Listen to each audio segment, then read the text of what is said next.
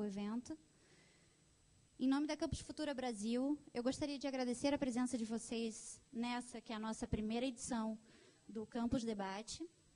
Gostaria também de agradecer a presença de Paco Ragageles, fundador e presidente da Campus Futura, Federico Isuani, diretor global de novos negócios, Carolina Hanashiro, diretora global de conteúdos, Daniela Costa, diretora de comunicação, José Luiz de Gênova, diretor comercial, e o apoio de todos os integrantes dessa família que é a Campus Futura.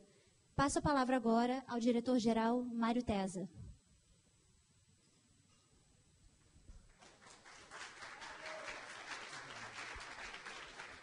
Pessoal que está aqui, pessoal que está na internet, pessoal que está na Espanha, no México, uh, na Colômbia e nos novos países que a gente vai começar o nosso evento também, Argentina e Chile, e nos Estados Unidos, o pessoal que está na Inglaterra. É uma saudação da Campus Futura, a nossa empresa. E esse é, é o primeiro Campus Debate, é um projeto que nós estamos começando agora e que também ocorrerá em outros países. A ideia é que a gente, durante o ano, mantenha o contato entre nós aqui, campuseiros, empresas, governos, universidades, formadores de opinião eh, e todos aqueles que estão querendo pensar esse mundo da rede, o mundo da, da internet, as mudanças, que, que mundo nós vive, que vivemos e que viveremos. Eh, então, eh, hoje, a sugestão que nós compartilhamos entre os nossos colaboradores todos das áreas, né, e por sugestão, inclusive em homenagem à nossa maior área neste ano, que foi a área de mídia social, que era antigamente conhecida como blogs, né, surgiu a ideia desse debate e que nós vamos ter aqui durante uma hora, uma hora e meia. Eu não poderia deixar de finalizar, para finalizar de agradecer o apoio da Telefônica, sem ela nós não estaríamos literalmente aqui, né? Estamos na casa da Telefônica e agradecemos muito como apoiadora mundial do, do nosso projeto ao Buscapé e à C3 Tech, que nesta edição somaram no projeto. Nós eh, certamente teremos mais apoios e mais empresas estão interessadas, cada um com a, a sua visão de aportar nesse projeto, são, serão todas muito bem-vindas. Tá? Então, eu queria. É, eu acho que nós, para quebrar o cerimonial, acho que não chegou, né? É. Tá, então não chegou. Então nós quebraremos depois. Eu gostaria de chamar, é, e quebrando a nossa regra aqui, o nosso fundador e inventor do projeto, o Paco Ragageles. Ele não gosta de. Não, tu vai ter que vir. Tu tem, nós não vamos fazer esse evento sem registrar a tua presença aqui. Depois tem o programa, mas a gente quer duas palavrinhas tuas. Outro microfone.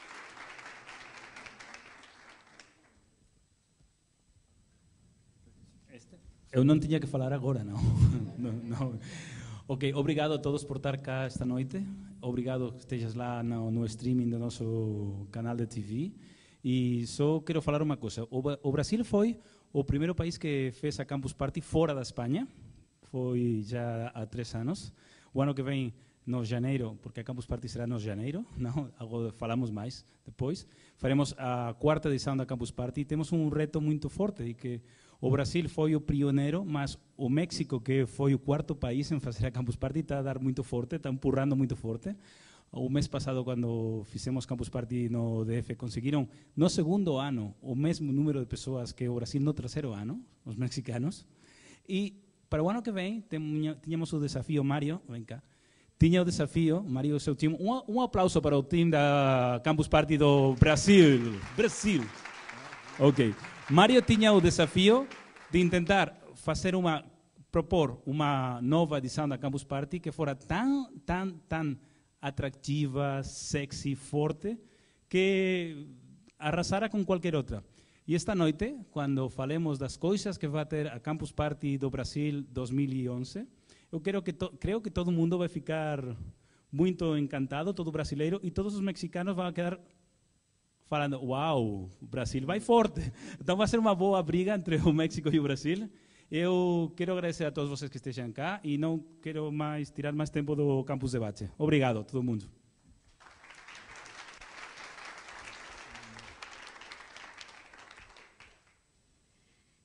Eu gostaria agora de chamar ao palco Bia Granja, que vai ser a nossa mediadora, ela é jornalista e editora da Pix.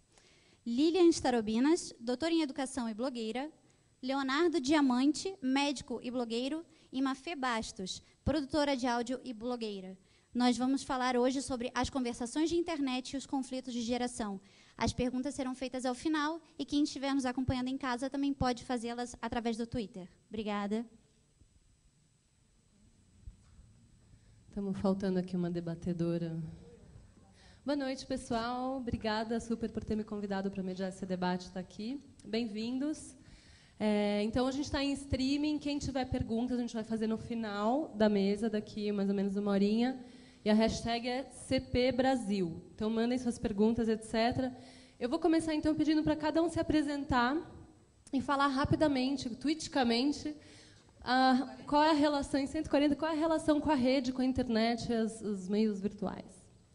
Eu sou a Mafê Bastos, eu sou publicitária, produtora de áudio, tenho uma produtora uh, que trabalha basicamente com conteúdo e serviços de produção de áudio para a internet é, mãe, blogueira, e, enfim, a internet está na minha vida 25 horas por dia, com um monte de, de gadgets e opções para estar tá conectada pelo celular, pelo computador, em casa, no trabalho, monitorando criança, trabalhando. Então, a internet, para mim, hoje, ela é 100% assim, do, do meu tempo, quase.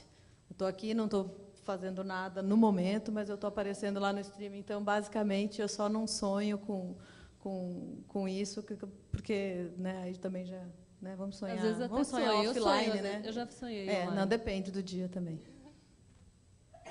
Boa noite, meu nome é Leonardo Diamante, eu sou médico cardiologista em atividade e, paralelamente à minha atividade como profissional médico, há mais de 20 anos, eu me dedico à tecnologia da informação em saúde. A questão de uns cinco anos, mais ou menos, eu me envolvi num, num projeto, é, numa empresa, onde eu tive contato com é, o pessoal das comunicações, das mídias sociais, e acabei encontrando um, um repertório de pessoas, de ideias, de é, uma série gigantesca de funcionalidades que cabem muito bem às questões da saúde que, que estão é, que são tremendamente complexas e seguramente do interesse de, de todos. Em função disso, eu precisei precisei criar um blog que eu consigo alimentar com alguma dificuldade e tenho ideias muito claras, muito concretas que podem e devem e seguramente vão ajudar a todas as pessoas, não só os pacientes, que somos todos nós, como os profissionais da área de saúde. Boa noite, eu sou a Aline Starobinas. A minha área é História eu sou pesquisadora, sou professora de ensino médio, trabalho também com formação de professores. E tecnologia entrou na minha vida, digamos mais, computadores e rede, um pouco antes da internet comercial.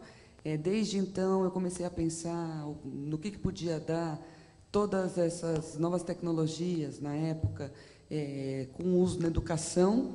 É, por conta disso, coordenei vários anos alguns programas relacionados à interação de professores e utilização dessas tecnologias é, na área educacional e acabei indo fazer o meu doutorado na área da educação, pensando um pouquinho aí é, qual que era a diferença quando as pessoas interagiam e trabalhavam juntas utilizando essas tecnologias.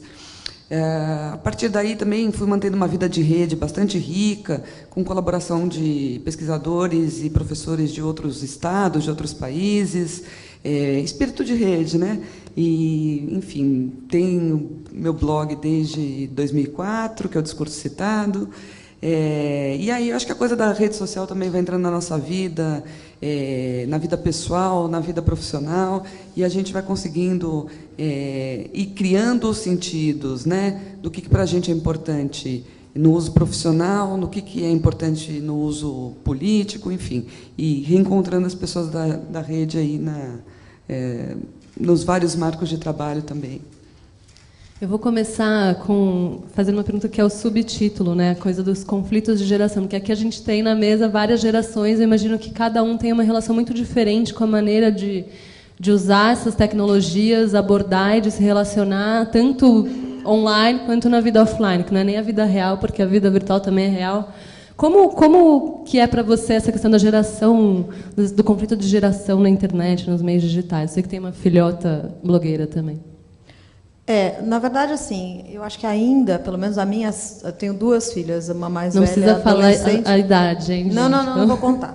É, uma adolescente e uma mais nova. E assim, eu entendo muito mais de internet do que ela porque ela ainda está numa fase que ela não vive sem o computador, ela não passa sem as redes sociais, mas ela não sabe. É, isso até é uma questão em educação que eu acho que a escola ela faz aulas de informática, etc. E tal, só que eles não ensinam é, assim o básico de um Excel, de um Word. Eles sabem super fazer textos, escrever as coisas nos, nas redes e tal, mas uh, conhecer mesmo a internet, a ferramenta e saber tirar o proveito necessário, eles não sabem ainda. Pelo menos a turminha que, que eu conheço, tá, eles estão muito mais interessados em interagir, no sentido trocar fotografia e estar tá na rapidez, do que tirar alguma coisa ainda que seja benéfico ou tanto, quantas mas, vezes já reclamei. Mas porque eles são muito, muito elas são imaturos muito ainda. ainda também é, mas essa fase. É, e, e, assim, essa geração, por mais que ela nasça já com uh, a mão no mouse, já sabe fazer um clique, etc e tal, eles tiram muito pouco do que tem a oferecer, na minha opinião, pelo menos o que eu estou ali trabalhando junto. Tanto é que tem muita coisa que a gente vê em trabalho da escola em que está lá embaixo, busquei na Wikipedia qual foi a fonte e tal. Eu falo, poxa, né, vamos procure em outros lugares, tem umas outras fontes. Mas acho assim, conflito, conflito ainda não eh, de geração para mim com a minha filha não tem, porque eu ainda tenho muito a oferecer. Eu acho que tem mais conflito entre eu e, por exemplo, a minha mãe, o meu pai que me mandou o primeiro e-mail faz dois meses e mandou para mim foi o único até hoje. Até então ele tem o e-mail, ele fala, olha, mandaram um e-mail, dá para você imprimir e me mandar pelo fax? Eu faço isso para ele até hoje. E ele não quer, não vai saber, não quer saber, não enxerga, reclama, enfim, cada um tem a sua. Então, esse conflito de geração é maior com os meus pais do que com as minhas filhas. Léo. É, eu tenho um, alguns conceitos muito claros e talvez sejam, até certo ponto, muito particulares com relação essa questão de, das gerações, porque eu, eu me vejo dentro desse contexto da tecnologia como um todo é, absolutamente igual a qualquer um de vocês.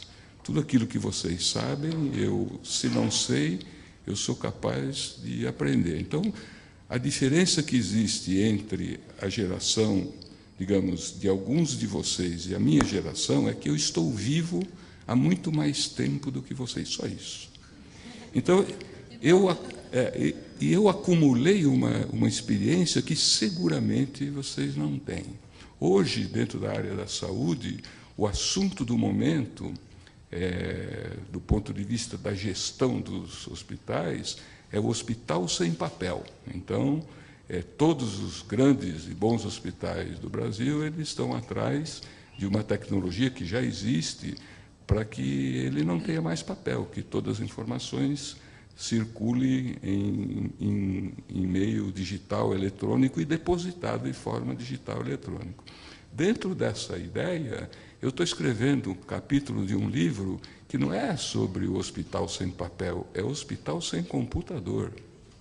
Eu vivi um hospital sem computador. Eu assisti os hospitais no Brasil a receber os seus primeiros computadores. E por incrível que pareça, os hospitais eles funcionavam como funcionam hoje. Os pacientes eram internados, operados, alguns morriam, outros não morriam, tomavam remédio, comiam o mesmo franguinho sem gosto que come hoje, o chuchu, aquela coisa toda. É, a conta era paga, a conta era paga, e as coisas funcionavam dessa mesma forma. Então, eu, eu, eu não gosto dessa, dessa questão de fazer diferenciação de, de gerações. A única coisa que eu concordo que, do ponto de vista médico e fisiológico, é inevitável é que a pessoa, a partir de uma certa idade, essa idade é 30 anos, 30 anos, ela começa a perder a habilidade que ela tinha aos 20 anos. E, é, e isso é alguma coisa que vai numa escala progressiva. E que as pessoas, se quiserem e tiverem vontade, tiverem Muito cabeça, do interesse mesmo, como você acabou de falar. Eu estava só esperando a brecha. É o interesse. Acho que não é nem o conflito, é o Exatamente. interesse. A pessoa tem que querer. Se ela quiser, ela consegue é, uma performance muito melhor do que aos 30 anos. Então, eu acordo às 5 horas da manhã, eu corro 6 quilômetros, eu faço 30 minutos de musculação, 10 minutos de alongamento e depois eu vou trabalhar, todo dia. Nossa, estou me sentindo mal. É, eu também, péssima. Eu sei, eu sei. Muito mal. Eu sei que isso é a exceção, absolutamente não é a regra. Eu, tô, eu só estou querendo é, deixar claro que as pessoas elas se tornam é, ou elas entram para a tal da terceira idade ou para a idade adulta, para o idoso, não sei o quê, porque elas querem. Porque se elas não quiserem, elas continuam absolutamente como Em todos movimento, vocês. no mínimo, né? Vocês. Eu falando, minha, É. minha sogra tem 87 anos, mora no Sul e a gente se fala por Skype todo dia agora. E ela, tá, ela fica o dia inteiro louca querendo falar no Skype, adora, etc. E, e- e se mantém em movimento, que é o que você falou. Tipo, quer saber o que que é iPad, mas vem dela, assim, não é que a É gente de fala. interesse, é o É. interesse. Mas eu acho que a gente tem uma vantagem, é, como você estava falando do hospital sem computador e tal. Eu, quando eu me formei, eu sou formada em rádio e televisão, eu, não existia CD ainda, era cartucheira, eu não tinha a câmera HD, né? Então eu- essa transição eu editava coisa de rádio com rolo, né? O filme era com rolo, 35 milímetros, 16 milímetros, eu editava na, na gilete, cortava assim, não tinha edição. Não tinha Audacity, não tinha nada. Então, eu acho que essa transição, principalmente, é, é benéfica, porque nos faz entender muita coisa, nos, nos deixa mais claro, porque a gente tinha dificuldade. Eu também trabalhei com produção de, de cinema, publicidade e tal. Não tinha agenda, não tinha Google, não tinha nada. Eu tinha que pegar, procurar na lista telefônica, encontrar onde tinha um fornecedor daquela peça que o diretor queria. Eu ia até lá, de Kombi com o motorista, tirava foto, levava, revelava o papel para depois mostrar para a pessoa. Então, quer dizer, demorava muito mais tempo, porque não tinha uma boa agenda, o Google não existia, não tinha nada. Então, essa transição, esse esforço que a gente teve para se virar e para fazer uma série de coisas, nos dá um, um jogo de cintura muito legal e, quer dizer, a gente somou a facilidade. Então, a gente pegou o osso e depois conseguiu comer o filé mignon também, né? Isso é muito legal. Essa, essa minha atividade com as mídias sociais me levou obrigatoriamente a uma discussão com um segmento da sociedade que eu não tinha contato, que são os advogados que trabalham com o direito eletrônico, que muita gente sequer sabe que é uma especialidade dentro do direito. E, de repente, eu virei palestrante de advogados, de clubes, não sei o quê, explicando para eles os problemas e dificuldades, a ponto tal que eu fui convidado e aceitei. O mês que vem, mês que vem não, este mês, eu vou começar a fazer um curso de pós-graduação em Direito Eletrônico. né? Então, é, eu não, não acho que existem limites, eu acho que a gente é, impõe os limites de acordo com as nossas necessidades. Os indivíduos eles evoluem na idade, passam a ter suas limitações que são absolutamente fisiológicas, mas tudo aquilo que ele é capaz de fazer, ele faz se ele quiser. E não depende se ele tem 20, 30, 40, 60. Existem pessoas que vocês devem saber perfeitamente bem, que aos 40 ou 50 anos de idade já não sabem direito quantos anos tem, o número do telefone e assim por diante. É, eu acho que quando o tema é internet, tecnologia, existe uma certa massificação na fala sobre tudo, né? Então, essa questão de uma juventude que sabe tudo, conhece tudo, nasceu no meio, domina, eu acho que isso é ilusório também. Eu vejo isso muito pelos meus alunos. É, você tem algumas pessoas bastante envolvidas, usuárias constantes, que têm uma facilidade de procurar, de se colocar, de fazer um interesse em pesquisar programas diferenciados, de procurar o seu lugar na rede, os seus grupos de interesse, e outras que absolutamente têm preferência por fazer outras coisas. E, e, e as preferências vão de desde, olha, essa coisa de computador, né? Eu gosto de teatro, eu gosto de ler, ou eu gosto de música, mas é, ainda né, não estou nas comunidades de música. Né? E, por outro lado, você tem é, alguns que tem, usam para o gasto. Né? Isso que você dizia, é, não tem uma coisa de um, de um domínio muito grande, dos seus programas mais no dia a dia. E aí eu acho que tem uma, um olhar mais de usuário, de eu vou usar porque eu preciso. E quando acho que a gente vê realmente que, vai avançando aí uma coisa né, variada da questão da idade, do quanto as pessoas se aproximam, encontram, se dão bem e aprendem bastante. Né? Agora, eu acho que tem mais uma coisa que é interessante que dessa questão da idade, que a, eu acho que a vida em rede nos coloca uma suspensão da nossa percepção de idade, o que é uma coisa muito bacana também, né? Essa possibilidade, por exemplo, de você estar numa comunidade que de repente você tem, sei lá, estou pensando ou nos professores ou no pessoal é, de colaboração civil que a gente participa. Você tem o cara de a professora que está em sala de aula faz 40 anos e aqui está se formando. E tem um respeito, e tem um trabalho conjunto, e uma tem mais facilidade com as coisas é, da tecnologia, a outra tem uma enorme experiência de trabalho. Então, essa integração, ela suspende um pouco essa percepção e essa obrigatoriedade de conviver com idades muito parecidas, que é algo, por exemplo, muito tradicional no, em escola. Né? Então, por um lado, às vezes as pessoas têm medo, ah, gente muito jovem convivendo com gente muito mais velha e acha que isso é um risco, ou né, coloca essas coisas todas para o perigo da internet.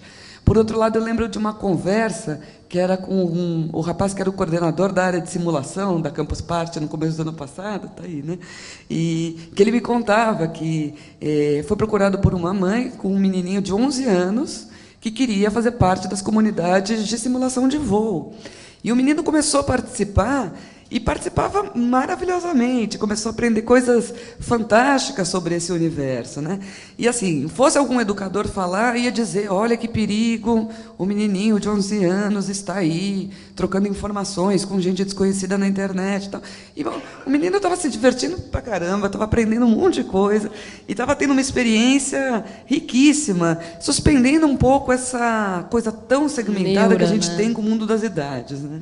Que é um agrupamento por interesse, é um interesse, né? Está me novo, copiando. É.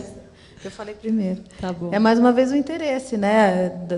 Tanto os mais velhos com interesse em se aprofundar com, alguma, com algum assunto na internet, como os mais jovens também. Da mesma forma que eu falei que a minha filha tem menos interesse para algumas coisas. Então, de repente, ele sabendo o que ele gosta, ele foi ter o interesse. Né? Esse negócio das trocas, que é uma outra pergunta que eu queria fazer para vocês, que tem um debate rolando que tem gente que fala que a internet está emborrecendo as pessoas e tem gente que fala que está afiando o cérebro das pessoas, porque se é multitarefa, por um lado, você é multitarefa e você não consegue focar em nada, você fica desconcentrado e vê tudo superficialmente, isso te emborrece, e por outro, não. Porque você faz tudo muito multitarefa e muito dinâmico e tudo ao mesmo tempo, aquilo te deixa cada vez mais afiado, etc., você fica mais inteligente.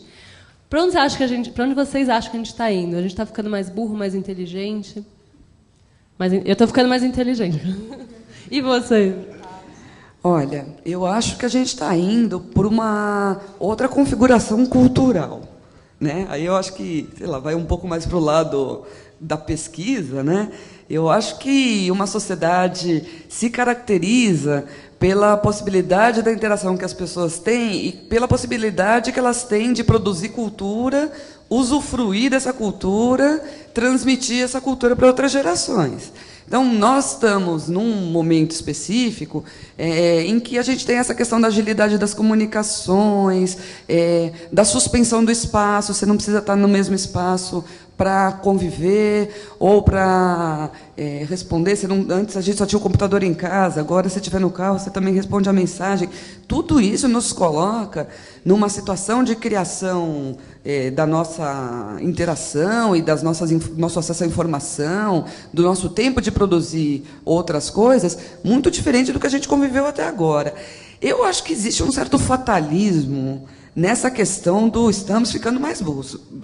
É, é, enfim, volto a dizer que há uma massificação e tem muita gente querendo vender livro, criando grandes teorias em relação a isso. Quer dizer, é, mesmo você falou da, da Wikipedia antes, é, até como professora eu tenho essa questão com os alunos, quer dizer, é, eu recebo trabalhos que a Wikipedia está lá na bibliografia. É porque eu acho que a Wikipedia, como produção coletiva, ela também pode ser muito legal. Se eu pegar o trabalho que tinha a Wikipedia na bibliografia e está escrito uma abobrinha monstruosa, eu vou ter que chamar o aluno e a gente vai lá olhar junto e falar, cara, como é que você engoliu isso? Né? E aí, que outras coisas a gente está procurando? Como é que a gente referenda e legitima a, o conhecimento? Porque a gente está nesse momento que o conhecimento não está mais legitimado por qual é o nome da editora que publicou. O conhecimento está legitimado pela pelo referendamento que você vai dar por checar outras coisas, pelo debate público, por uma série de outras questões. Então, acho que estamos mais. É, é, dependendo do uso que a gente for fazer, é uma sociedade que vai se enriquecer culturalmente. Dependendo dos usos que a gente deixar fazerem com a gente, pode ser complicado. Ele deixa, na verdade, esse negócio de deixar mais burro, eu acho que com essas cabeçadas que acabam acontecendo por conta de má, uh, informações erradas ou fontes não seguras, acho que vai ter que deixar a gente mais esperto até, né? Porque você vai ter que saber buscar é. muito mais do que você faz, não é só filtrar, um clique. Né? Filtrar melhor, você saber o que você está, uh, por que, que você está buscando, você comparar informações, você buscar em, em mais fontes para você ver se aquilo mesmo, a não ser que tipo, todo mundo esteja querendo te enganar, é uma grande pegadinha, mas eu acho que deixa mais esperto também. E tudo com uma boa medida. Eu acho que como a Wikipedia pode servir de fonte para alunos, escolas, que você tem um bom conteúdo, você tem que sempre ter um bom senso. Como eu falei, mexer na Wikipedia, mas também procurar algumas outras fontes, é, ou de alguma org, ou ONG, enfim, do que for, de, de, de algum conteúdo que tenha uma, uma, uma legitimidade, uma credibilidade, uma assinatura, alguém que você possa falar como é que você escreveu isso aí que está errado. Também é uma coisa, no mínimo, mais estimulante. Eu não sei como era na época de vocês, mas na minha eu tinha duas fontes de pesquisa. A enciclopédia, que a minha, por acaso, era Barça, porque a gente gostava de vermelho, e aí o Almanac Abril, que era já uma coisa avançada e moderna, cheia de ilustração, etc. E não tinha mais nada, então os trabalhos eram super pasteurizados, tipo, não tinha uma emoção na pesquisa também. Então, hoje em dia... É, você abria e colava, né? Escrevia. Né? Não que não tenha copy-paste hoje em dia, mas, os, mas os escrever, caminhos são. Mas o escrever era bom. Nesse ponto eu tenho sinto, sinto alguma falta. Eu aprendi muito escrevendo, fazendo resumo, fazendo coisas de, de copiando mesmo, porque acho que conforme você vai escrevendo, você vai lendo aquilo que você está tá escrevendo, enfim. É, são essas, é essa transição, são as vantagens, aquilo que a gente teve que aprender na raça e tudo mais. É por isso que eu acho que eu falava um pouco de uma sociedade diferente, né? É, tem um, até tem um vídeo no YouTube que eu acho que é fantástico em relação a isso, é, que tem a ver com essa questão do, né, do escrever manual, depois do quem é o homem teclando na máquina de escrever.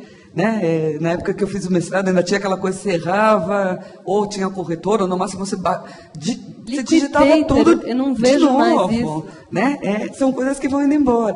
E depois, assim, uma certa geração que virou a geração do, do polegar, que é o polegar do game, ou é o polegar agora do dedo no celular, quer dizer, é, e um pouco essa sensação de que a maneira como você acessa ou é, o, o que você faz com a ferramenta muda quem você é. E esse mudar quem nós somos em relação a como nós fazemos a nossa sociedade está tá colocado.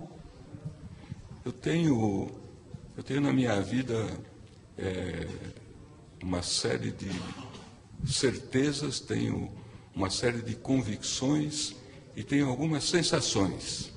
Eu tenho a sensação de que as pessoas que estão vivendo neste momento, elas abriram muito a sua base é, de conhecimentos, mas da mesma forma que elas conhecem mais assuntos, elas se aprofundam muito menos em cada um dos seus assuntos propriamente dito.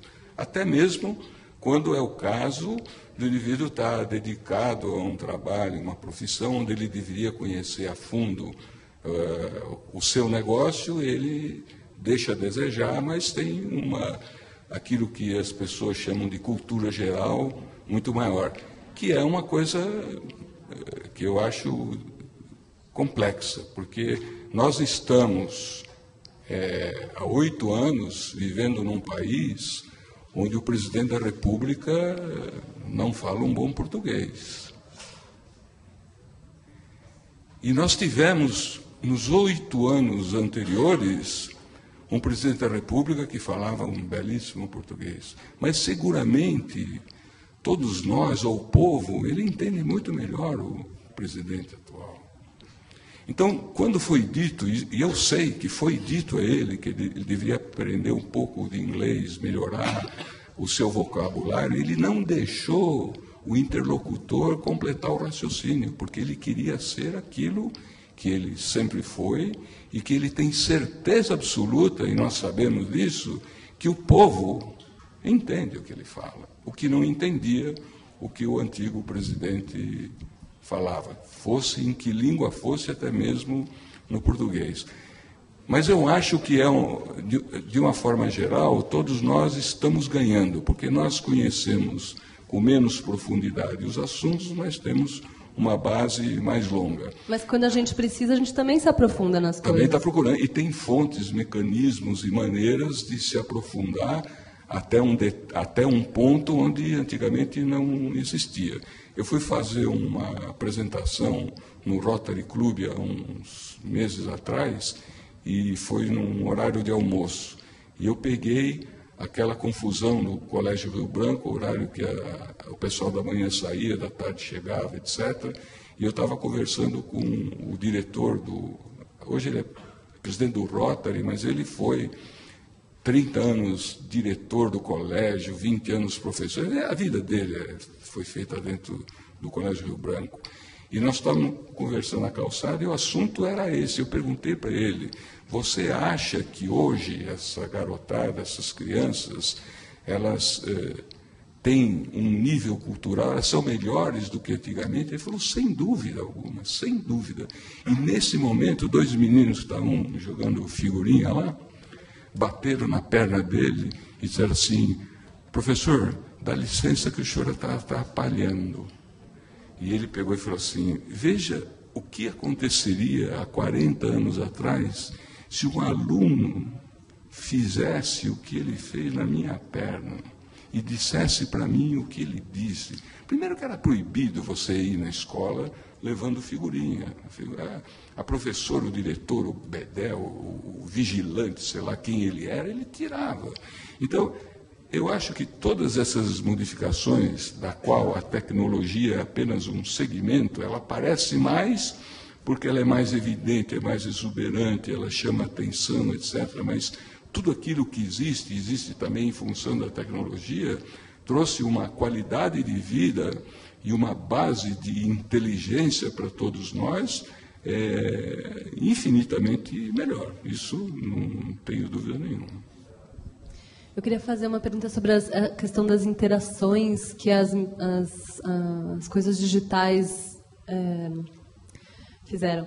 É, eu estava lendo um texto em que a pessoa falava que num, num encontro entre amigos na vida offline, um estava no computador, o outro estava no celular, o outro estava vendo TV, e esse era o encontro deles de sexta-feira à noite. Ela criticava muito isso porque ela achava absurdo, porque na verdade ninguém estava se comunicando e as relações pessoais na vida offline estavam morrendo, etc, etc. O que, que vocês acham disso?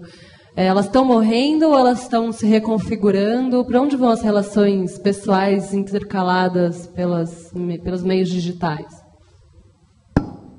Bom, eu particularmente, assim, eu tenho muitos amigos da internet. Outro, ontem, ontem mesmo eu recebi uma reclamação, foi o meu aniversário essa semana, e foram alguns amigos em casa, uma pessoa falou assim, ah, mas eu não sou só sua amiga da internet.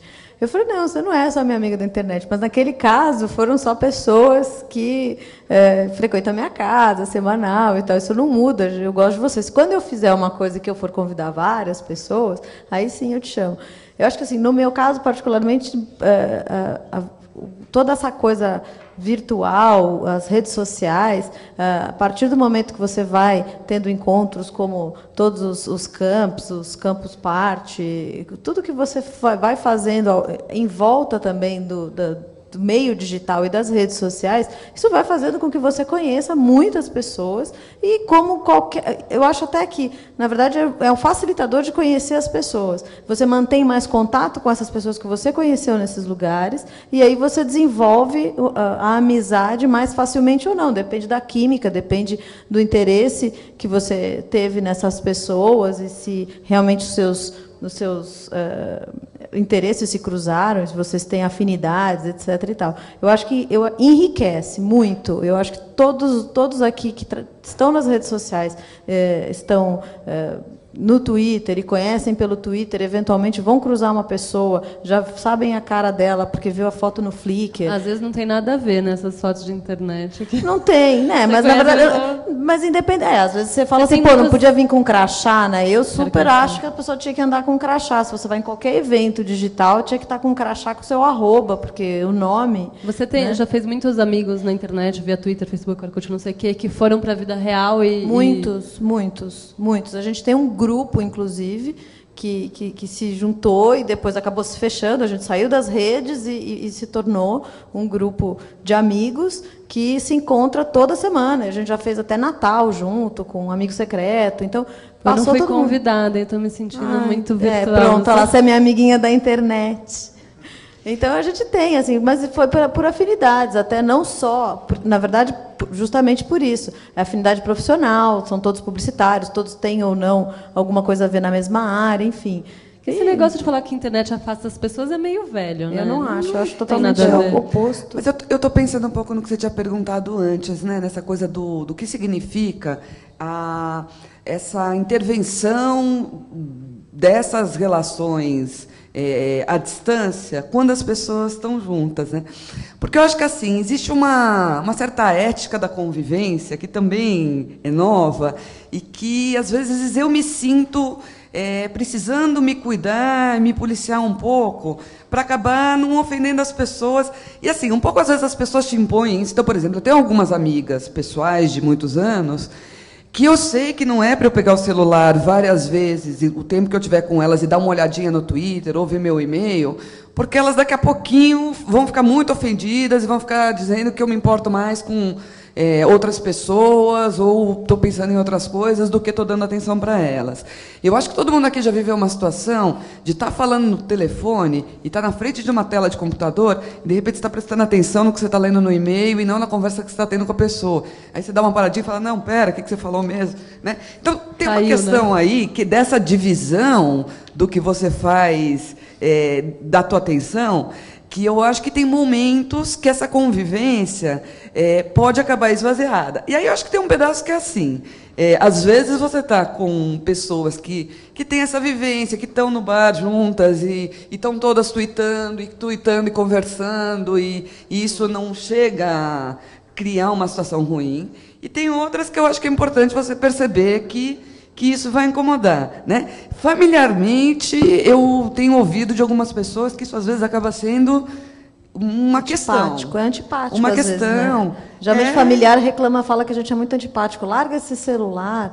Você tem que ter um pouco de bom senso, eu acho também. Às vezes em casa mesmo, ficam uns quatro, né? Marido, duas Eles filhas. falam por e-mail, né? É, mais ou menos isso. É, chega uma hora que você tem que falar, não, gente, vamos pelo menos, sei lá, não vamos sair do geral da, da de mexer com atenção. Ninguém precisa ficar olhando para a prova, mas olhar para a televisão, pelo menos os quatro juntos, assistir um filme, é, coisas assim. Então tem que ter um bom senso. Eu acho que é muito importante, senão fica antipático. E mesmo às vezes até é reunião de trabalho. Hoje em dia eu vejo isso assim, às vezes reunião de professor, você tem essa coisa, você tem várias pessoas com o laptop aberto.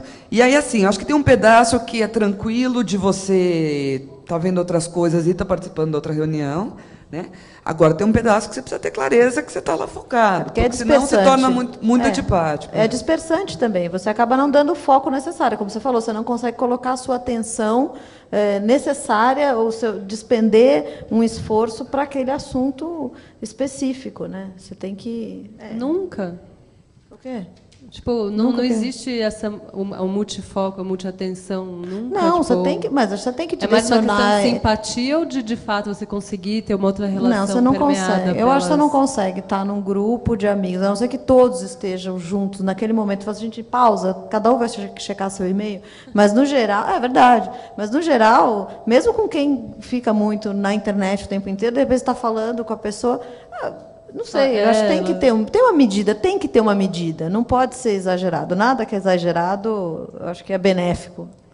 É, eu, eu, tenho, eu tenho a convicção de que a internet, de uma forma geral, ela aproximou muito as pessoas.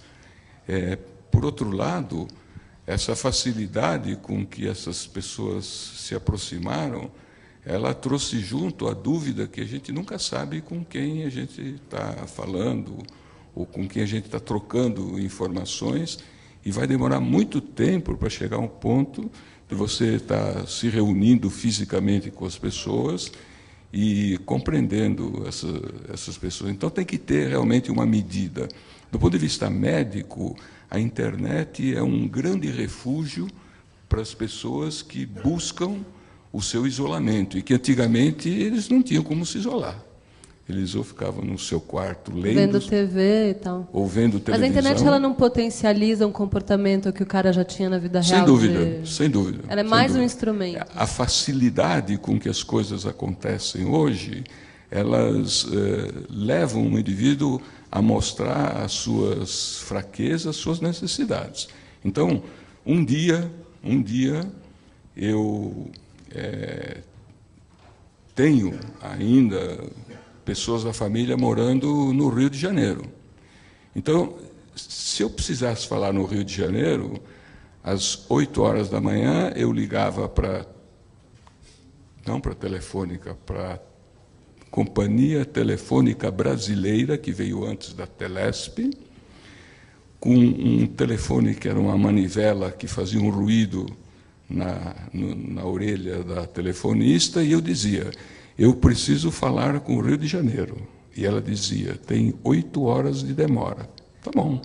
Era oito da manhã, eu sabia que pelas quatro da tarde ela ia chamar como realmente chamava. Você tinha que ficar esperando ela retornar com a Eu não precisava ficar esperando. Eu, eu saía, mas em torno das quatro da tarde eu já estava aguardando ela me chamar. Né? E era um serviço bom, porque se acontecesse alguma coisa nessa comunicação e ela não iria me chamar às quatro da tarde, ia chamar às oito, ela telefonava e dizia: houve um problema no tráfego, não sei o quê. E eu só vou chamar às oito. E eu podia dizer: oito não interessa mais que a pessoa não está. Mas tinha uma taxa de urgência, tipo, eu preciso falar lá agora Tinha, tal. Aí tinha. você tinha. tinha uma condição de urgência que, surpreendentemente, você só tinha que declarar a urgência. Você dizia, eu preciso falar, porque trata-se de uma pessoa que está precisando de uma ajuda de tal coisa, ela, pois não, fazia na hora. Né? Você não precisava dizer quem você era, nome de ninguém, nada, era só justificar e estava justificado. Hoje, a gente fala com qualquer lugar do mundo, é, as pessoas dormem com o telefone ligado. Outro dia eu liguei para um, para um amigo meu, às três horas da tarde, ele atendeu, e eu falei assim, olá, tudo bem? Boa tarde. Ele falou, boa tarde, nada. Boa noite, eu estou na Austrália e você me acordou. Eu falei, tá bom, então não é nada urgente, eu volto a falar com você em outra, outra oportunidade. Mas eu fiquei pensando, então por que, que ele está com Não o telefone desligou, ligado né, o na telefone, Austrália, cara? de madrugada, dormindo? Né? São, são essas coisas que eu acho que são decorrentes da, da facilidade com, com que a tecnologia está na nossa mão. E não só a facilidade, como o baixo preço.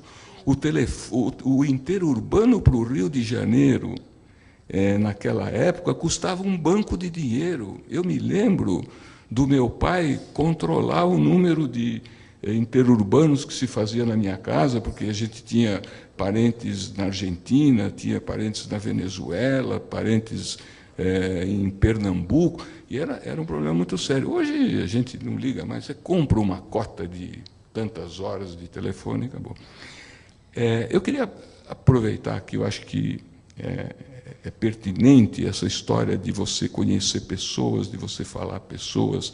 Hoje, é, é, um dos grandes problemas, e talvez seja um, dos únicos problemas que a comunidade da internet aceitou a interferência de terceiros ou é, algum tipo de censura, é com relação à pedofilia. Então, a pedofilia é tratada no mundo inteiro, em termos de tecnologia, como uma coisa especial.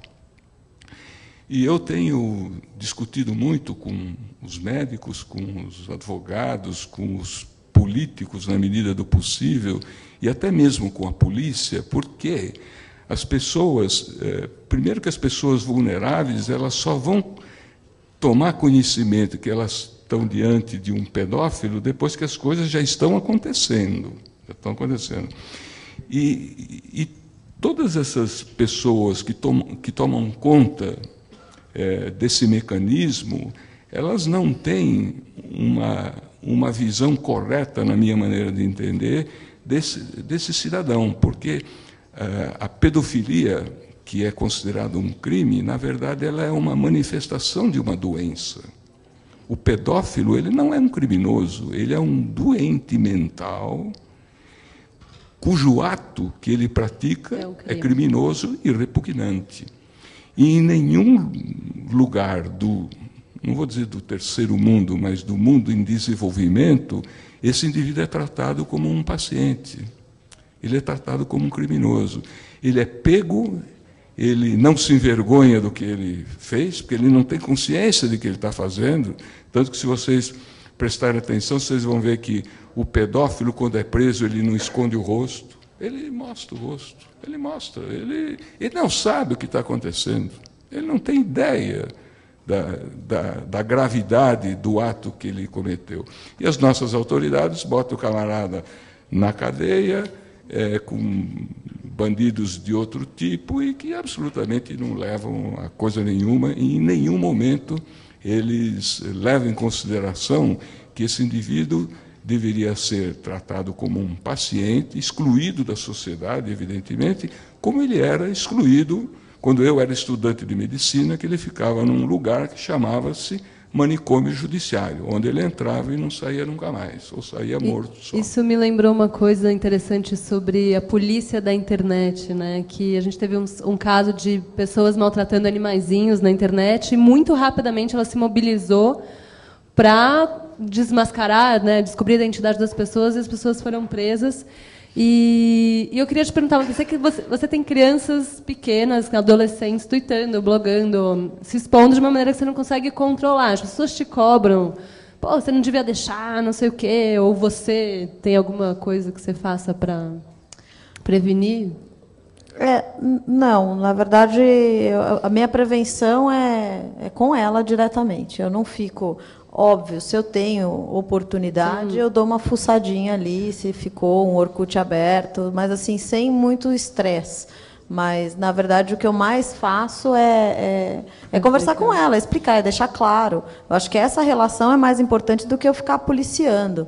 Então, não, não tem, porque eu acho. E mostrar mesmo, né? Até, até para voltar, para eu só entender uma coisa que o Léo falou aqui, o negócio do pedófilo ser um doente, é, existe assim os níveis do pedófilo, vamos dizer assim, o cara que o cara que tem abusa de criança até de, três anos, quatro anos, seis anos, e o cara que é, foi lá e pagou uma, uma, uma prostituta infantil, que foi, quer dizer, qual é o nível? Porque eu acho assim, o cara que vai lá e, e compra o sexo de uma, uma, menina de 16 anos de idade, ele está caracterizado como um pedófilo também. Mas ele pode ser caracterizado como um doente ou não? Ou ele já vê a menina não, ele... como uma mulher, ou não, de 14, não, ele... enfim. Como é que é essa relação entre ele, idades? Ele é, ele, é, ele é doente, a doença é única em todas essas situações que você é, você se referiu, a doença é única e a característica da, do pedófilo é de que ele precisa fazer sexo ou ter algum tipo de excitação com pessoas que não sabem o que é isso. Com 16 Ele anos, tem acho que essa ela já sabe o que essa é, né? necessidade. Vamos dizer assim, eu acho que as meninas com 16 menos. anos, adolescentes, eu acho que aí já... Eu, O então, pedó- eu, eu o- eu não confio na doença do pedófilo quando se trata de uma prostituição infantil, eh, de meninas com corpo formado, coisas É, assim. Eu, é eu, já normal- não, eu já não confio. Para mim já... não, não. Já Não. acho que é Aí uma... ele já é malandro. Ele já é ele uma, é é uma malandro. sacana. Ele não é- Bom, não é- depois vocês podem fazer um aconselhamento mais específico e profundo e aprofundado em relação bom. à pedofilia. Mas, É, mas é, é, só um último comentário, depois eu não vou falar mais sobre pedofilia, porque eu é, escrevi um primeiro artigo, escrevi um segundo, escrevi um terceiro, uma quantidade enorme de pessoas se manifestando, etc. E, de repente, eu percebi que eu estava sendo monitorado e estavam querendo entender o que, que eu queria, onde eu queria chegar. Não quero nada, não quero chegar em lugar nenhum. Eu estou só fazendo nos lugares aonde eu vou, e um dos lugares que eu vou muito é no meu blog, é fazer um alerta, falar assim, olha, esse cara não pode ir para a cadeia, ele tem que ir para um hospício, ele tem que ir para um hospital onde ele possa ser tratado com o pouquíssimo que, que a medicina consegue fazer e não ficar no meio de bandidos que não leva, não leva a coisa nenhuma. Biet, é, eu acho que interessante que você falou um pouco antes a questão da, do isolamento, né? Acho, acho que em algum momento a gente falou essa coisa assim do tipo do isolamento das pessoas e, e que eu acho que assim também é um, um dos outros das outras questões que a gente tem, né? Nessa sociedade o quanto é, estar mediado pelas máquinas ou pelas te- tecnologias é, levam a uma vida mais solitária ou é, cacifam mais alguém que tem uma tendência muito à solidão, né? E, e eu acho que tem uma outra experiência que eu, que eu vejo como interessante, que tem um- uma, uma questão da nossa sociabilidade, que às vezes é difícil, que é um dado de timidez. Então, uma, uma coisa bacana que eu vejo assim, que eu, isso eu fui percebendo com alunos ao longo do ano também, é que muitas vezes a gente tem situações de gente que não fala em sala de aula, que você às vezes não conhece muito, não tem muito claro o, se tem muitas contribuições ou não, e que ocasionalmente numa atividade mediada por computador essa pessoa Caramba. participa, se coloca, está mais presente. Eu notei isso Então, muitas tem um vezes. tem um Muito. ganho diferente de possibilidade de sociabilidade na mediação de tecnologia, que eu acho que é algo que Eu a gente deveria incrível. tomar em consideração e utilizar como ferramenta positiva, inclusive de capacidade de E expressão. imitar na vida real, porque às das vezes a gente- pessoas. A gente, faz muito isso, que a gente está muito nessa. A gente conhece um monte de gente no Twitter que é fantástico, De sensacional. repente você de encontra, você fala assim, mas e aí, fala? A Você pessoa não fala? fala. A pessoa não fala, É é. meio. é- é- Mas Bom, é, é, é uma Mas característica eu acho que a pessoa própria. pode talvez desenvolver uma melhora, de repente, na própria comunicação dela, ela conseguindo ela se vai esconder, ela vai exercitando a, mais a troca e tudo mais. Será? Não, mas mesmo profissionalmente, quer dizer, você pensa que profissionalmente hoje em dia as pessoas às vezes têm uma, um tempo de trabalho bastante mais intenso em equipes que estão trabalhando em rede mediada por computadores. Por, por que, que eu vou me preocupar tão seriamente se ela é mais calada quando a gente vai almoçar junto? Tá bom, ela é mais calada quando a gente vai almoçar junto. Ou talvez o tanto que ela se satisfaz em se expressar verbalmente é diferente do meu, que sou uma pessoa que falo muito. É, E você tem acidez também. Tem muita gente que é extremamente ácido e, e- e super cheio de causar. É um limão assim, online. mas quando você chega a pessoa Mas real, uma manga, doce, né? É um chuchu. Manga. Aí eu acho que cabe, aí eu acho que tem algumas intervenções importantes. Isso eu estou pensando, por exemplo, quando a gente faz formação de professores, a pessoa entender eh, como ela se coloca para não causar um- uma briga além da, da necessidade que ela gostaria num grupo de discussão, porque às vezes ela está querendo só discutir um ponto e não ser grossa. E às vezes a maneira como ela É se ela coloca por colocou uma vírgula errada, é um ponto errado, e Então, eu já acho mal isso- interpretado. Né? isso é o que a gente chama de apropriação das ferramentas.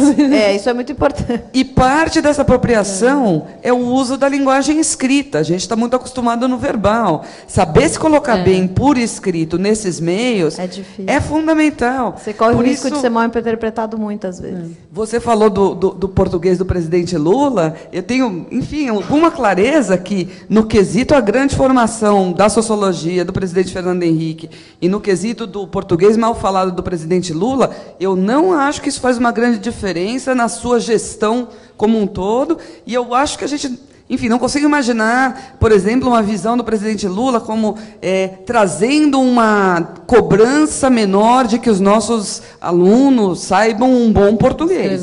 Tenho clareza que ele gostaria muito disso. Agora, quando às vezes a gente vai pegar gente que teve uma formação no trabalho com pouca escolarização, às vezes a gente tem situações que a gente que tem muita dificuldade de participar no ambiente virtual porque é ótima falando, é um líder nato, é gente que se coloca muito bem oralmente. A pessoa vai sentar para escrever o texto, é e você fala, gente, mas esse cara que participava tão bem no presencial se atrapalha tanto no, no, né, é, ao escrever. E é isso, essas formações se dão de um jeito diferente. Então, acho que a gente precisa pensar com quem a gente está uhum. lidando e que, como a gente traz esses talentos das pessoas, usando ou a ferramenta Fórum por escrito, uhum. ou gravando vídeo com as pessoas com o YouTube, com quem ainda não teve toda essa experiência. Aconteceu Vamos. uma vez uma, uma, uma experiência engraçada, só para complementar. Tem que ser bem é, engraçado, hein? Não é tão, mas enfim. É, o cara estava num mestre de cerimônia, num evento, ele é um apresentador de TV, trabalha super eloquente, super no, no, no né, no, no personagem. É, mas é, ele fala muito por, por impulso mesmo, ele não é muito de. não tem roteiro, nada. Você vê que é totalmente impulsividade natural aquilo que ele fala. Quando ele estava como MC, ele não conseguia ler.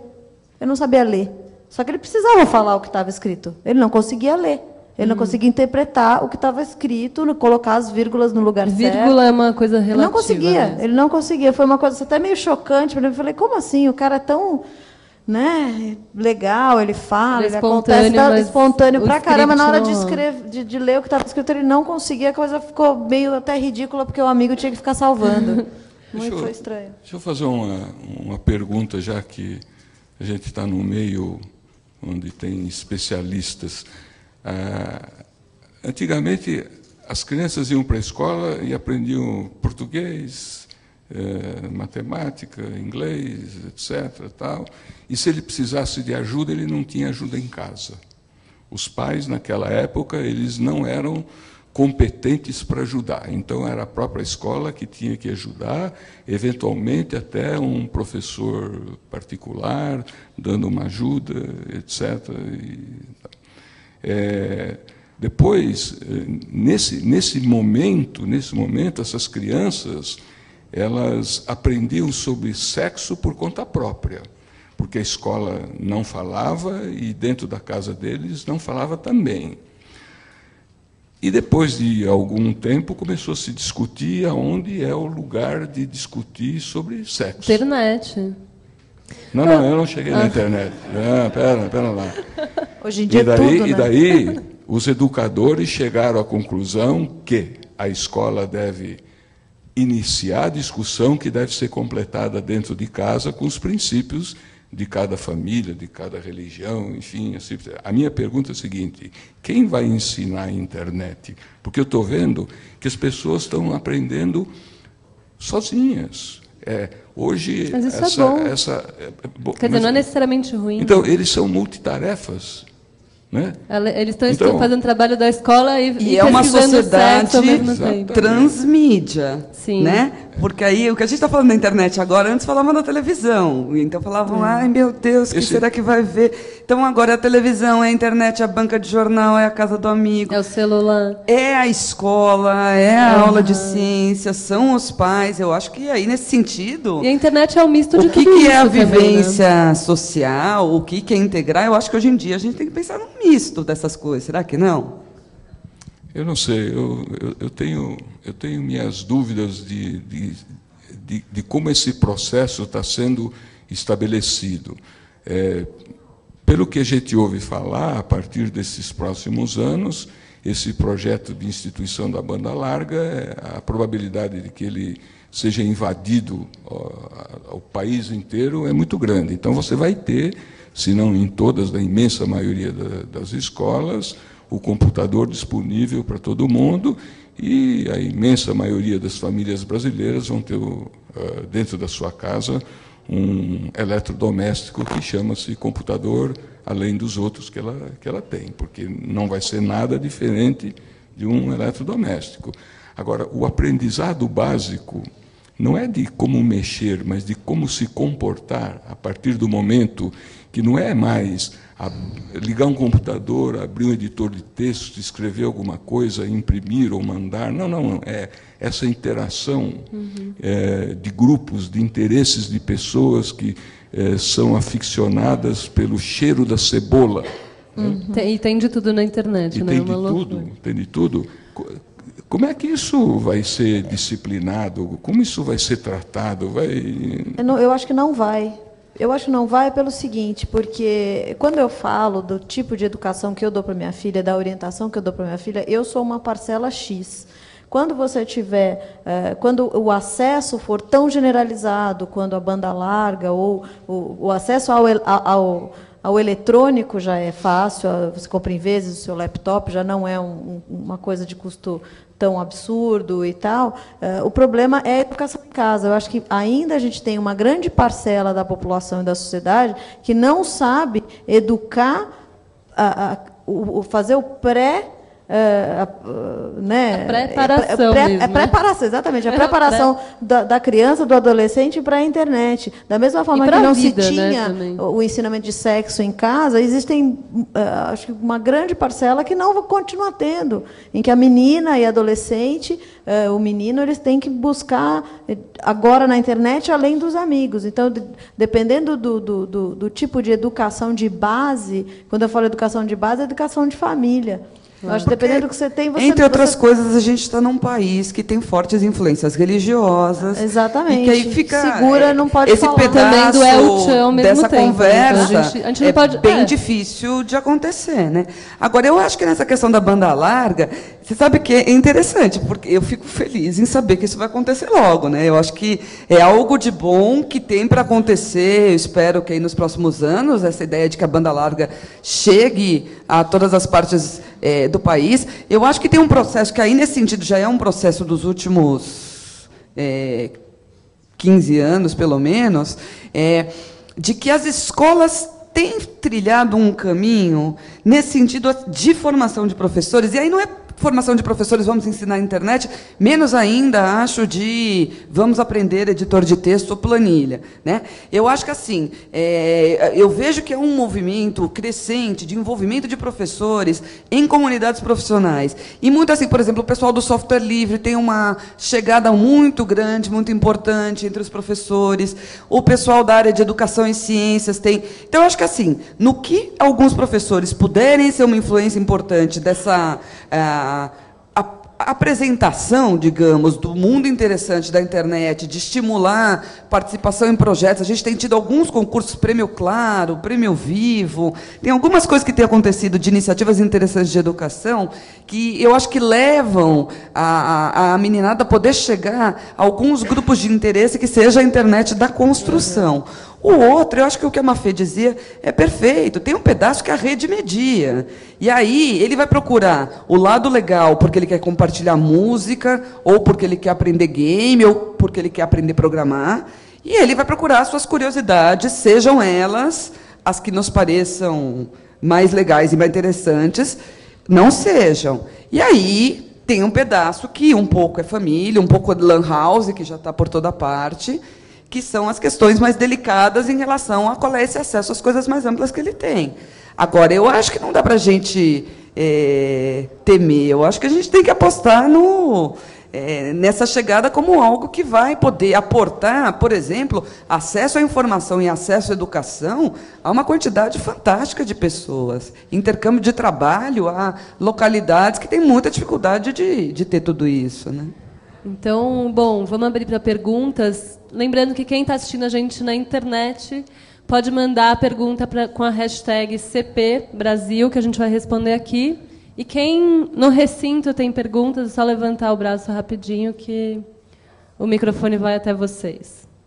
Posso fazer um, um comentário? Eu acho que é interessante com relação ao impacto da tecnologia e agora a tecnologia como um todo sobre a saúde das pessoas.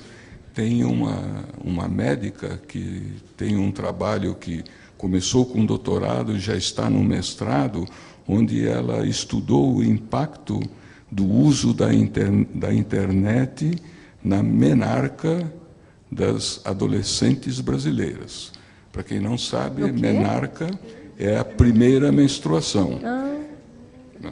É, então Você essa, sabia, né? É, essa, isso não é termo dos antigamente, não. Isso aí é termo científico. Mas é, essa, essa menarca, que antigamente se dava lá pelos seus 16, 17 anos, hoje ela está beirando 12 para menos, para menos. E a surpresa que causou o trabalho dela foi de que isto está acontecendo tanto mais quanto maior é o uso da internet por essas, por essas jovens. Então, o, o, o estímulo da comunicação, dessa atividade multitarefa, de alguma forma, ela está criando um impacto que eu não sei dizer se ele é ruim, se ele é bom, mas é diferente do que era. Porque até se A internet sozinha, isso? Não tem nenhuma outra coisa influenciando a menarca? Não, não. É, é, é muito de internet, mas também é de televisão, é de. é- por isso que eu digo, é tecnologia. São os meios de comunicação como um todo. O que, a, o que a ciência ainda não conseguiu entender é se o período de fertilidade, que antigamente começava, digamos, aos 18 anos, 17 anos, e terminava aos 40, se agora ele vai continuar terminando aos 40 ou ele vai durar muito menos, porque as meninas começaram a menstruar com 8 ou 10 anos de idade. E a consequência disso é que hoje mulheres na faixa dos seus 35 anos e que menstruaram precocemente, elas já estão preocupadas se elas têm condição de gerar um feto saudável. Triste. É.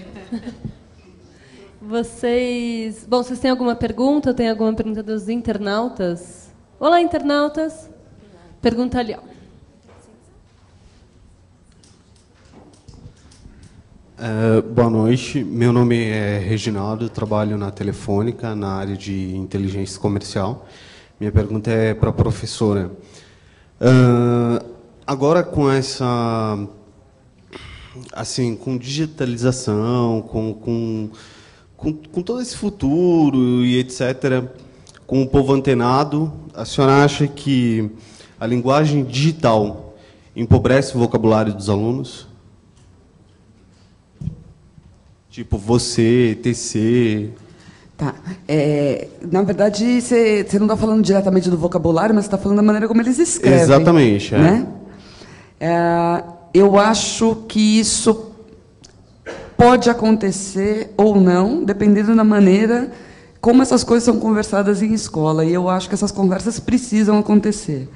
Por quê? É, a utilização frequente dessa linguagem pelos alunos, elas acontecem em geral nos marcos onde faz sentido você usar isso. Ninguém vai escrever frases completas com todos os verbos e todas as letras no MSN, por exemplo, que é uma interface que demanda rapidez, ou teclar na- nas teclinhas micro de um celular, né? Então eu acho que é impensável a gente é, achar que as pessoas é, vão deixar de usar isso, quer dizer, é a, a- é a geração mais jovem que começou a usar e a nossa adotou porque é mais cômodo. Né? Agora, cabe à escola, no momento de trabalhar a- o texto formal, solicitar dos seus alunos que utilizem a linguagem formal. Da mesma maneira que quando eu for deixar um bilhete para alguém em casa, eu vou escrever uma coisa curta, porque o, né, o gênero é, do bilhete é uma coisa curta, informativa, eu preciso saber que a hora que eu estou escrevendo a carta de solicitação de empréstimo de uma sala num edifício para fazer uma conferência, eu preciso escrever aquilo de uma maneira mais elaborada, porque eu estou escrevendo para uma pessoa que eu conheço, não tem intimidade. Né? Então, acho que cabe à escola demandar. Eu acho que a gente vê muitas vezes os alunos perdendo um pouco essas fronteiras de como que é o espaço adequado, né? Agora essas linguagens vão conviver, né? Eu Ou acho que é um convívio que- entre as linguagens, há uma riqueza entre as linguagens e não faz sentido a gente nem coibir completamente é, nem fazer de conta que não está vendo, que eu acho que você precisa pontuar que é importante que ele consiga construir, estruturar é, não só um discurso corretamente escrito, mas que também consiga aprofundar suas ideias. É, ou seja, você pode escrever em miguxês contanto que você tenha total é, autonomia para escrever correto também. Não... Primeiro você aprende a escrever certo, depois você escreve do jeito que você quiser. Né? Não, e tem a questão das gírias também, né? Tem, tem uma que é muito comum no Twitter, que é a questão do corrão. Que todo mundo sabe que escreve C-O-R-R-A-M. Todo mundo sabe, tipo, corram. Só que a galera gosta de escrever corrão, A-O. É que nem o como faz, né? Comofas, Com, é. Comofas, né? Ou então o Dorgas. E, e o povo vem corrigir, fica super indignado. Ah, tudo bem, pode ser uma gíria da internet, mas está errado. Falo, Sabemos que está errado, cara parda, mas é uma linguagem que nasceu na internet, é uma gíria como qualquer outra, e a gente não pode usá-la aqui, tipo, a gente pode usá-la aqui. Então, qual é, qual é o. Né? É, eu acho que a gente já está no momento de entender que existe uma certa liberdade de produção da linguagem. Licenças que... poéticas, né? É, eu, eu, na web. eu não concordo com, com, né, com essa questão. Acho que já, já o Monteiro Lobato, há é, 80 anos atrás, ia dizer que esse academicismo de trancar toda a linguagem do jeito que ela sempre foi. Ela a linguagem é, viva, é uma coisa viva. Né? Exatamente. É, você tem que saber. Você pode escrever, mas você tem que saber. A gente sabe, a gente tem que dizer aqui, a gente sabe escrever é, a gente certo. Sabe, é, é com M de Maria, tá? Pergunta. É, eu sou Sérgio Amadeu, eu tenho uma pergunta assim. Essas instituições como a fábrica, a escola, os hospitais, essas coisas não são, não estão em, em decadência diante das possibilidades da rede? Eu queria saber uma opinião, porque, por exemplo, no caso da, da escola, a escola e esse tipo de ensino está em crise no Brasil, na França, na Iugoslávia, nos Estados Unidos, em tudo quanto é lugar. E as redes, comunicação, a comunicação em rede, ela oferece outras possibilidades. Então, será que nossa crítica não está sendo pouco profunda a uma nova fase que a gente que está vindo por aí? Professores. Eu estou fora. Não sou professora também. É, eu achei excelente essa pergunta é, do ponto de vista é, do foco dos hospitais. Os hospitais estão absolutamente por fora de tudo que nós falamos até hoje.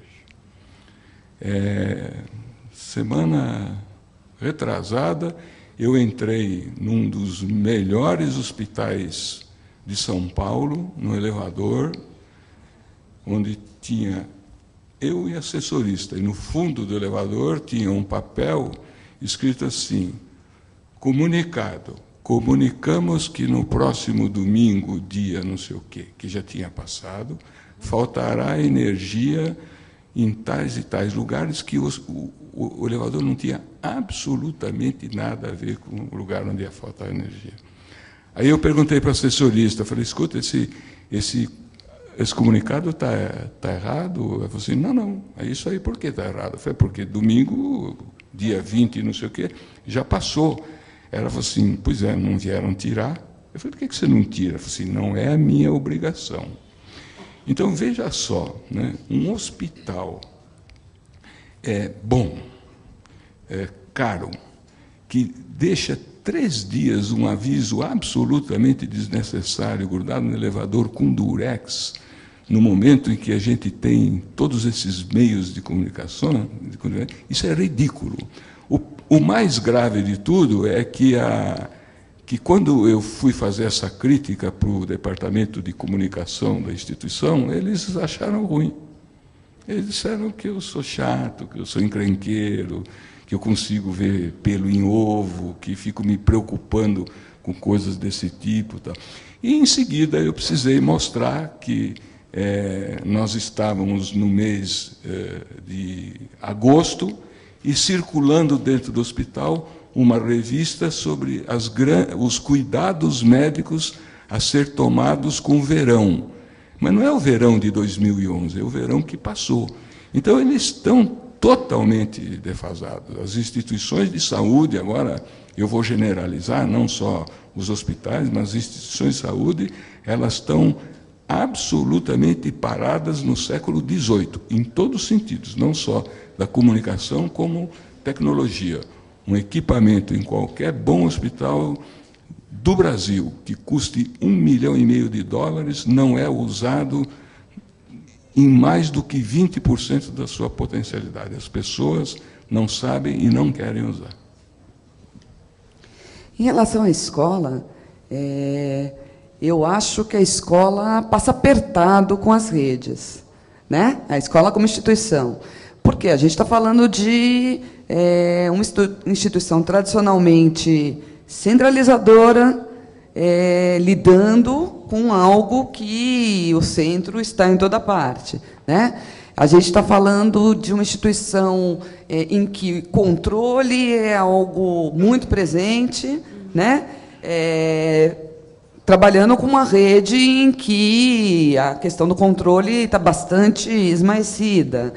É, a gente está falando de uma instituição acostumada a só mostrar o verniz pintadinho, bonitinho do trabalho finalizado. E a gente está falando de uma modalidade de expressão que a gente vai mudando tudo, mostrando tudo né, em processo. A nossa possibilidade de mudar isso é, é permanente. Há questões, por exemplo, de é, situação de poder em relação à posição de saber, quem sabe mais, professor sabe mais, aluno sabe mais. Tudo isso, em geral, né, é, gera muitas vezes muitas situações de mal-estar. E às vezes, assim, em debate com alguns colegas veteranos de rede, assim, são debates é, longos, né? É, às vezes é, se coloca uma coisa assim do tipo, bom, mas por que vocês ainda têm algum otimismo que essa chegada da rede ou da formação dos professores vai conseguir fazer a escola ser algo melhor do que ela é? E, e uma certa proposição, então, bom, então vamos fazer uma política de terra arrasada. Fechem-se as escolas, vamos dizer que os alunos vão todos aprender de outra maneira, e não é assim que as coisas funcionam. Na verdade, acho que a gente sabe que, é, é, institucionalmente, é, a escola deve ser uma, um dos órgãos com maior é, entrada na sociedade brasileira, em todos os lugares.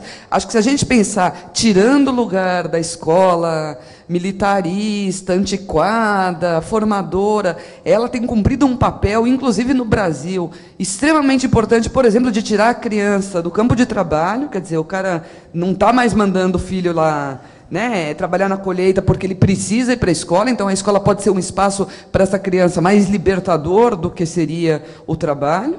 Né? Então, eu acho que assim, já que a gente não tem essa opção de para tudo, vamos pensar outra maneira, inclusive porque a gente não tem uma proposta clara do que como seria essa maneira de construir um mundo interessante, com uma escolarização, com uma aprendizagem que passasse só pela rede descentralizada, pela suspensão de todas as hierarquias, né? algo que me parece, enfim, fantástico e maravilhoso. A gente vai fazendo as pequenas contra-revoluções é dentro humano, do espaço institucional. O ser humano não funciona dessa forma. O ser humano nunca... É, você não teria um, uma, uma presença das crianças, porque o ser humano precisa, eu acho. De, Anarquia não, total né? já foi provada que não acho funciona. Que não rola, não rola. O ser humano não teria capacidade de mas... se policiar. A gente mesmo quer fazer um curso de inglês maduro, já fez faculdade, já trabalha, vou fazer um curso via internet. Não vai. Não vai. Muitos, muito poucas pessoas Uma coisa fazem, que eu sinto, né? assim, não, não eu, eu acho que eu não consigo ver os meus alunos, por exemplo, pensando na vivência deles em rede, com algo que seja genuinamente vinculado ao escolar. Quando a gente pensa uma coisa, vamos propor alguma coisa escolar, eles vão fazer uma cara de, putz, você está me pedindo para tomar aquele remédio de gosto ruim. Né? Que dá aquela sensação que é mesmo você está querendo que eu responda as mesmas questões que eu ia responder que estavam escritas na lousa, usando a internet. Para isso, para eles não faz nenhum sentido. Por outro lado, os moleques estão lá, estão blogando, estão escrevendo sobre música, estão aprendendo a programar. E aí, acho que eles precisam encontrando esses espaços de vivência. Mas As escolas precisam desse espaço. Falta o facilitador. Eu acho que, como, como o Léo estava falando aqui, do hospital caro, que né, não tem. Eu também, eu posso dizer da escola que minhas filhas trabalham. Cara, é, sul para pagar todo mês. Se você não tem, por exemplo, uma rede, se é uma comunidade, faça então não, um, não vamos para a rede pública, mas digo, rede pública, eu digo rede social pública, o Orkut, o Facebook, mas faça uma rede da escola, ou tenha lá disponível matéria. O site é uma porcaria, é, você não consegue acesso fácil, eles não têm, tem um blog que também é bem fuleiro. Então, eu acho que tem falta esse, esse suporte. Você não tem a hum. extensão. Se a escola tivesse a extensão para algumas coisas, tirar dúvida, matéria, bota lá currículo, alguma coisa, seria legal. Uma pergunta aqui do pessoal do Twitter que está vendo a gente pelo Campus TV, é, do André Teles. Ele pergunta: Os internautas entram em contato com quem quiser em segundos. O horário de trabalho, o horário pessoal se perdeu? Eu, eu perdi completamente. Perdi totalmente. Eu não tenho Quem trabalha com internet é uma linha impossível é, de traçar. Não, mesmo né? porque me dá mobilidade, me dá, me dá mobilidade no sentido, pela minha profissão, eu não preciso estar no meu escritório, até porque é meu, uh, a hora que alguém falou que eu tenho que estar lá, mas eu levo minha filha no médico, ou eu vou ao médico, ou eu estou em alguma reunião, ou eu vou participar de um seminário o dia inteiro, eu estou respondendo para o meu cliente, eu estou fazendo um orçamento, eu estou orientando alguém. Então, assim, eu já e mesmo porque para mim é importante, como eu já disse, por ser dona do meu próprio negócio, quanto mais eu trabalhar, é mais, mais eu vou ganhar. Então eu não vou deixar de atender só porque deu seis horas e beleza. Então... Tem, eu não, eu não lembro agora qual é o dado certo, mas se alguém lembrar puder falar que X% das pessoas usam uma boa parte do tempo no trabalho para acessar coisas pessoais, tipo e-mail, banco, besterol. Era, uma taxa alta, assim. Que não tem como separar, né? É, mas você sabe que eu estava falando das, contra, das né, pequenas revoluções possíveis na escola. Eu acho que tem pequenas é, posturas pessoais que eu acho que são bem importantes, e nesse sentido, essa ideia que você estava falando desses tempos, do tempo que a gente precisa mais, que eu acho que a gente precisa educar nesse sentido, que é encontre o tempo para você. Nesse sentido, assim, do tipo, e se precisar ser desconectado, desligue seu celular quando você estiver na Austrália, consiga, ou não né? vá olhar o seu e-mail. Da mesma maneira, outro dia eu ouvi o André Lemos falando no, no debate da na, na, Bienal, ele falava uma coisa bem interessante, que ele dizia, hoje é tudo rápido, o pessoal só quer ler texto curto, e ele dizia, o papel do professor nesse sentido é ser o chato, é dizer, vamos ler esse texto inteiro, ele tem coisas a nos dizer, a gente tem que ter capacidade de fôlego para essa leitura. Ao mesmo tempo, o meu é dizer também, olha, tá bom, recebi esse e-mail, mas eu vou responder na segunda, porque tá bom, eu vi, mas eu não quero pensar nisso nesse fim de semana. E eu não quero criar uma relação nesse sentido, né, nesses é, limites de trabalho, em que eu tenha o cliente achando que daqui a 15 minutos vai vir. Eu acho que a, a tendência social é essa. E a nossa tendência humana tem que ser de dizer para o tempo é. da tecnologia seguinte, existe o tempo da tecnologia, mas a gente precisa manter o do descanso, da família, o dos outros assuntos. É muito importante. Que é exacerbante. Né? A gente tem mais uma pergunta aqui na frente. Olá, tudo bem? Eu sou o Thiago Rondon, eu trabalho é, em vários, é, vários projetos de desenvolvimento de software livre hoje. É, e, assim, no meio a gente tem uma preocupação com as mídias sociais atualmente, principalmente é, com relação ao fluxo dessas informações. A maioria das redes, das mídias sociais hoje, elas são baseadas em software livre, mas a gente não sabe como que é a, a regra de negócio delas. Por exemplo, a gente não sabe onde vai a jurisprudência do direito e dever de cada usuário. Digo isso, ah, numa rede famosa, se um usuário atingir algum interesse dessa empresa, ela pode ser expulsa pela vontade dessa rede social. E essas redes sociais, até que ponto, como cidadão, vai virar um direito ou um, ou um dever de utilização? Né? O que, que essa pessoa pode fazer e se ela pode ser banida da utilização por algum interesse político, de governo. O meu maior receio né, nessas discussões é exatamente essas redes sociais elas estarem com essa regra de jurídica, né, fechada entre elas numa política de privacidade própria. E se vocês têm alguma preocupação em relação a isso, é, se vocês pensam nisso, fazem algum tipo de escolha baseada em política de privacidade das redes, e, e que eu acho que falta um movimento forte mais em relação a essa abertura, esse debate de jurisprudência por cada mídia social. É, mas você, quando você, quando você perguntou dizendo vocês, vocês quem?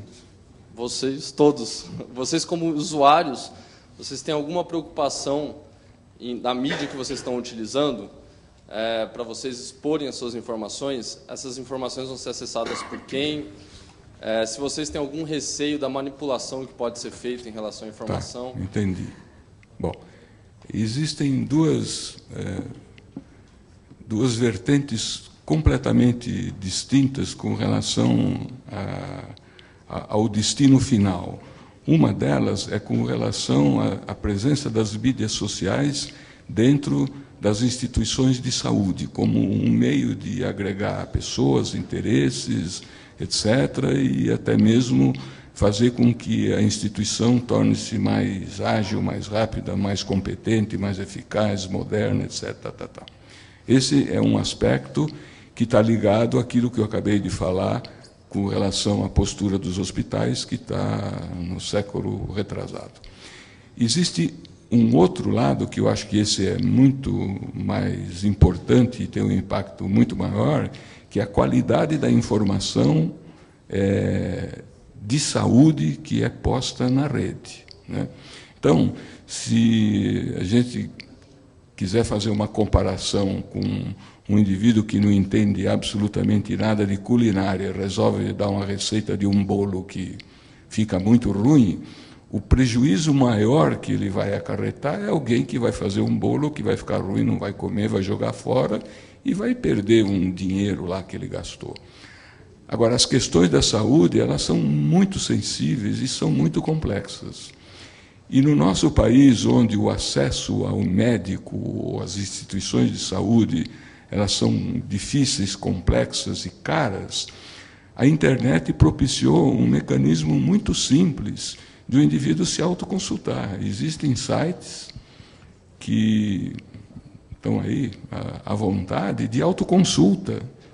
Então o indivíduo entra em várias línguas, né? Várias línguas.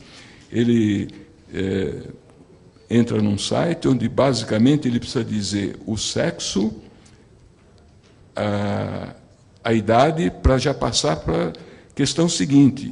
E o, o sistema, esse software, ele vai fazendo perguntas em função de, das suas respostas que te levam a conclusões absolutamente inconsequentes, inconsequentes. Então, se você, por exemplo, estiver com tosse e resolver fazer uma consulta num desses sites, é, sem que você cometa nenhum equívoco, ele pode tirar, por exemplo, quatro ou cinco diagnósticos, não que estejam errados, mas eles foram mal elaborados, que vão desde gripe, pneumonia, câncer de pulmão, ansiedade e mais alguma coisa.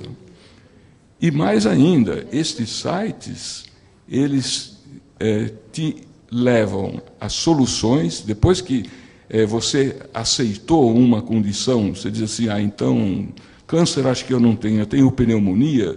Se você, se você aceitar o diagnóstico de pneumonia, ele já te dá as opções de tratamento.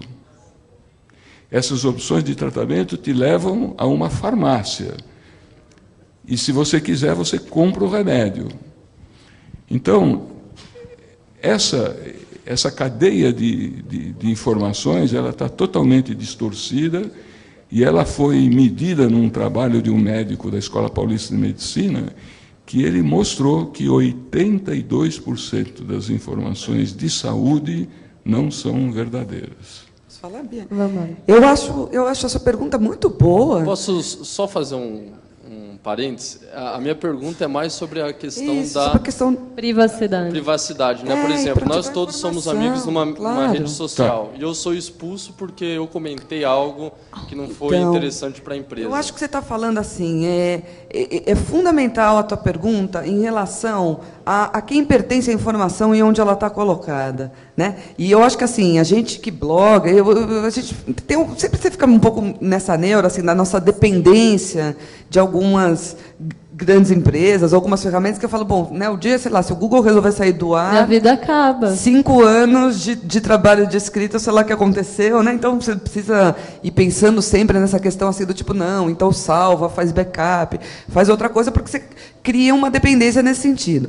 Agora, eu acho super importante isso que você está falando, que eu acho que, assim, isso passa por é, pensar, por um lado, política pública que procure garantir que informações e dados da área da saúde, informações e dados do governo, informações e dados de todos os temas estratégicos encontrem é, servidores e programas de hospedagem que busquem algumas garantias que não fiquem na mão dessas, dessas grandes empresas. Né? Depois, é, eu, eu, vejo, às vezes, se vê alguns governadores ou prefeitos fazendo acordos com grandes empresas no sentido de fornecimento de serviço de e-mail para aluno, e mesmo de hospedagem de site de escola ou de blog de escola, que eu também acho complicado, porque você também fica numa, numa dependência, ou digamos, você cria uma fidelidade de empresas que você não obrigatoriamente tem garantido que vai futuramente, por exemplo, te dar acesso à memória disso tudo, né? Então, assim, é, nesse sentido, acho que o Brasil tem até uma tradição importante é, de pensar é, no que significa a informática na área pública, né? O quanto ela é estratégica e deveria ser cuidado com uma maneira estratégica.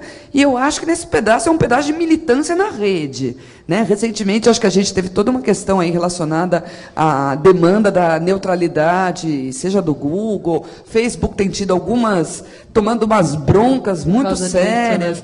Então, assim, acho que a gente frequenta, a gente está lá, acho que você precisa ter cuidado nesse sentido, né? Do, do que, que você vai colocando para você ter clareza que você está também em outros espaços, mas é um pouco esse custo-benefício, né? De quero estar e é, se acaba se dobrando alguma regra, que eu acho que você tem razão que em alguns momentos. É, é, parece que ultrapassa o senso que seria o positivo, mas que eu acho que também já está começando a ouvir dos usuários, que também não dá para ser tudo defendendo esses próprios interesses. Bom, gente, a gente está super sem tempo. Eu queria agradecer vocês três muitíssimo por virem aqui, dividir um pouco com vocês, com a gente as experiências. Agora a gente vai ter o Geek Vibrations com o Paco. Cadê o Paco? Já está em posição. Depois. Ah, agora é a surpresa? Ah, então bom, então vou me levantar.